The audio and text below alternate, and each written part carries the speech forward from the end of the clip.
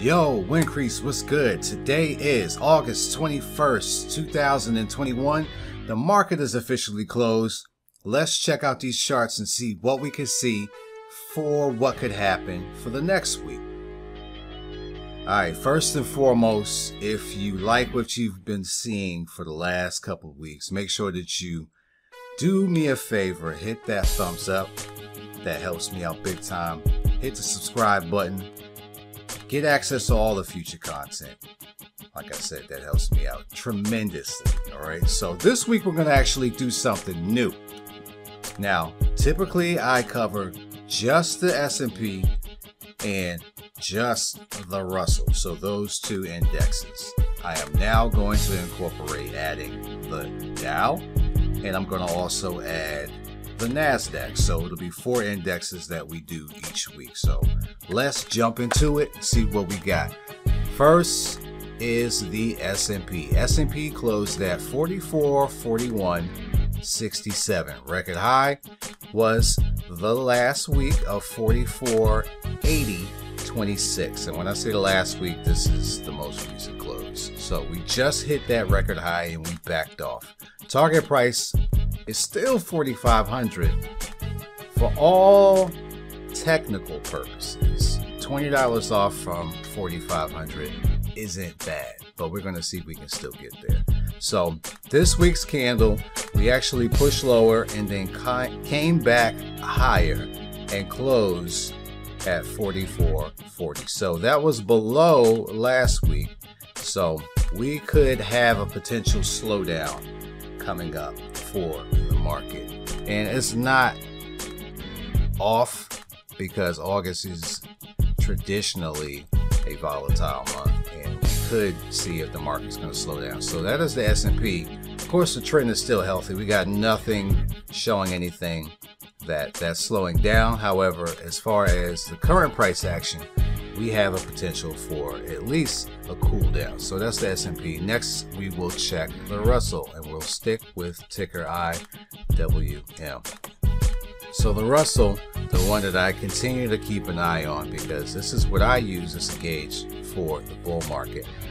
Now we closed at 215.52. Record high remains the same, 234.53. Of all the indexes, this is the one that has not made any new highs at all, while the other three have continued to move. That's typically a signal of something is up.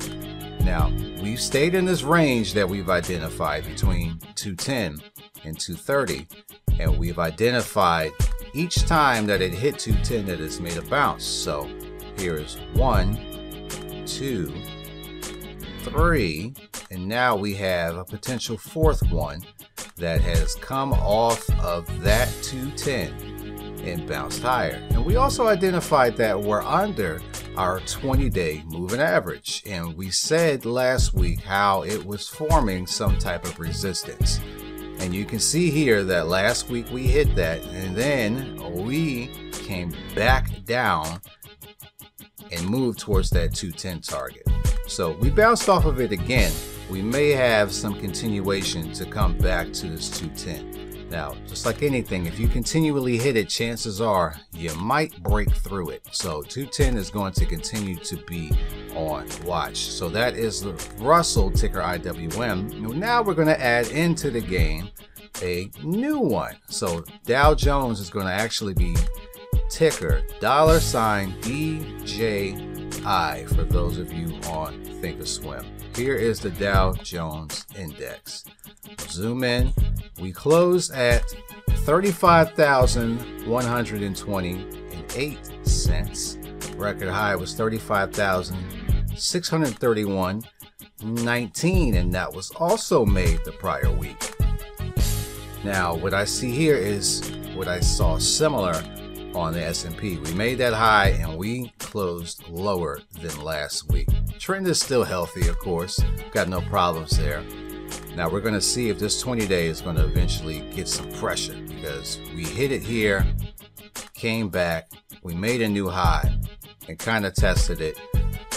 We may see a slowdown is what the Dow is also showing. So that is the Dow, and now we're going to cover the NASDAQ, and it's going to be ticker NDX.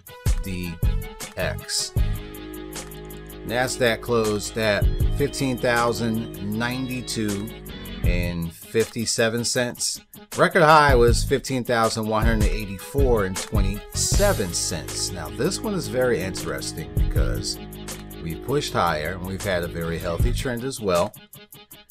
The two weeks that we've had recently are showing doji candles, and that will always signal indecision. And indecision at highs usually gives me a red flag that things are going to slow down. So, of all of the indexes, all four are starting to show me that things could cool off. And that's okay because it was hot for a while and things are going to rebalance. So, that's it for this week. Thank you again for all the likes. Thank you for the shares. Thank you for checking me out. And if you have any questions, make sure that you hit me up. That's going to be wincrease20 at Enjoy your weekend. Make sure that you use your time wisely. Time is a priority because it is the most vital resource you'll ever have. Spend it wisely, all right? And we'll check you later. Peace.